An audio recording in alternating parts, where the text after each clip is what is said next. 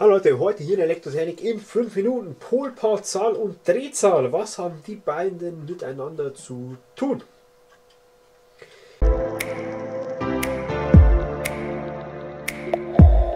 Ja, also Polpaarzahl kann man sich immer ein bisschen schwierig vorstellen. Was ist denn das? Und ja, da gibt es die Analogie, sag ich mal, aus der Gleich, aus der, äh, ja, aus dem Gleich, sag's Gleichstrommotor Jetzt haben wir es.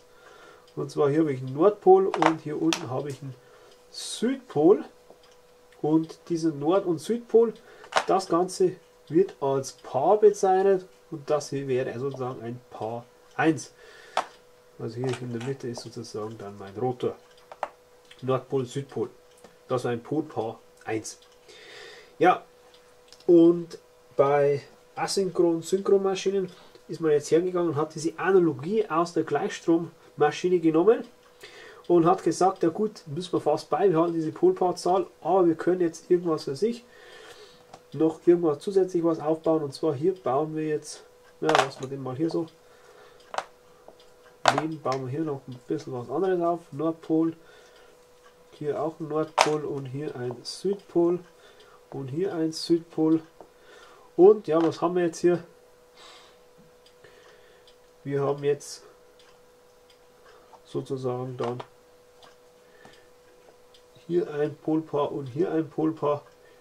Sprich, wir haben hier zwei Polpaare. Also so kann man sich das hier im Ganzen, im Groben und Ganzen so vorstellen. Wenn man jetzt was das Ganze dreimal hätte, dann dreimal. Bei der also Asynchronmaschine sieht das so aus. Also ich habe das ein bisschen, ein bisschen, kann man auch zusammenzählen. Also hier so gehören eigentlich zusammen. Ein großer Umlauf. Hier sind die einzelnen äh, Windungen. Immer die drei, sage ich mal, gehören zusammen. Das sind die drei Phasen, was wir hier haben.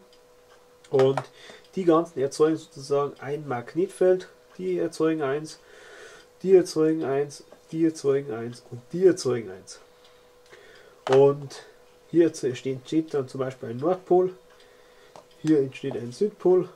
Hier entsteht wieder ein Nordpol und hier entsteht auch wieder ein Südpol. Und jetzt das Besondere ist, dass sich ein, hier bei Gleichstrom sind es ja meistens Dauermagneten oder Elektromagneten, die sind gleich, also da ändert sich nichts. Und hier geht dieses Feld, das bewegt sich ja mit. was hier einmal durchfließt, fließt im nächsten Moment immer mit weniger, dann dreht sich die äh, Spannung um, der Strom um und dann geht es in die andere Richtung. Also das dreht sich jetzt hier sozusagen schön mit. Und da sich das mitdreht, beziehungsweise je höher die Polpaarzahl, desto schneller dreht sie sich sozusagen, beziehungsweise langsamer dreht sich das Ganze dann mit. Und äh, da gibt es einen Zusammenhang. Und wie sieht jetzt dieser Zusammenhang zwischen Drehzahl und Polpaarzahl aus? Jetzt komme ich zur Formel. Und zwar, ich habe hier dieses Drehfeld, also diese Drehfeld Drehfeld, Drehzahl muss ich schon sagen, komischer Name. Zahl NS. Also hier Drehzahl NS. Und die ist F durch P. P ist wieder unser Polzahl. Also sprich, ich habe jetzt hier ein 50 Hertz äh, Drehstromnetz zum Beispiel. Also ich habe hier 50 Hertz Drehstromnetz und einem Polpaar von 1. Also einem Polpaar. So wie wir es hier oben, ups, so, runter hier. So wie wir es hier gehabt haben. Okay, was habe ich dann hier? Ja, schwierig zu erraten. 50 Umdrehungen pro Sekunde. Oder mal 60. Kommen wir auf unsere 3000 Umdrehungen pro Minute. Klassiker.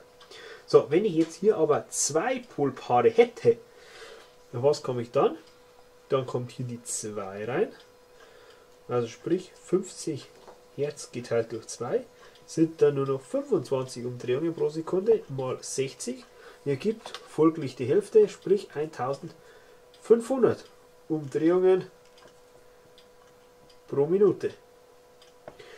Also sprich, je mehr, je höher, je mehr Polpaare wir haben, desto langsamer dreht sich dieses Drehfeld, dieses, diese Dreh, Drehfeld-Drehzahl NS also umso langsamer bewegt sich die da. Wenn wir drei haben, könnt ihr euch vorstellen, 3000 durch 3 gibt nur noch 1000 Umdrehungen pro Minute. Das, also bei 50 Hertz natürlich, wenn ich in 100 Hertz äh, hätte, kann ich das wieder dementsprechend kompensieren. Aber meistens wird unser Haushaltsnetz hergenommen mit 50 Hertz und deswegen haben diese ganzen Motoren auch immer die 3000 Umdrehungen, wenn man aufs typische drauf, drauf guckt bei 50 Hertz. Also, das wollte ich euch hier mal zeigen zwischen Polpaar und Drehzahl, welcher Zusammenhang hier besteht. Hoffe, dieses Video hat euch gefallen. Falls ja, würde ich mich hier über einen Daumen hoch freuen. Hier oben könnt ihr noch abonnieren und hier geht es weiter mit einem weiteren coolen neuen Video. Also macht's gut, Tschüss und auf Wiederschauen, euer Alexander Elektrotechnik in 5 Minuten. Tschüss!